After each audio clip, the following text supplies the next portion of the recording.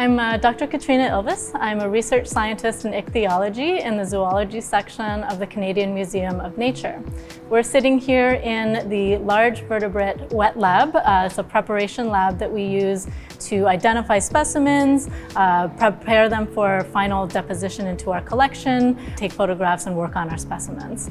So my research here at the museum involves using the specimens in our collection as well as those from other museum collections to study fish evolution uh, and the evolution of biodiversity in particular. Uh, now, in order to study biodiversity, you need to focus on one of the fundamental units of biodiversity, which is the species. Now, if you are watching, listening, and understanding this video, that makes you a member of the species Homo sapiens. And what you may have noticed is that there's actually two Latinized words in that species name, the genus and the species. This is an example of a lamprey. So this is one of the earliest fishes on the fish family tree. Uh, it has a cartilaginous skeleton and also it doesn't have a jaw. So in place of its jaw, it has this oral disc and if you look closely, it is full of very spiny, sharp teeth. This particular lamprey is parasitic and it uses these sharp teeth and this sucker-like disc to attach to the side of a unlucky fish prey, usually a salmon of some kind. Now this fish uh, was named Lampetra macrostoma. So macrostoma means large mouth, and if you look closely, you can see that it does have a very large mouth, and this was of course relative to other members um, of the uh, genus that it's related to. So this is a specimen that was collected in 1965 by Dr. Ian Efford from the University of British Columbia as part of a Canadian expedition of scientists and medical doctors to Easter Island. Uh, so one of the specimens that was collected uh, on this expedition is sitting right here in our national collection.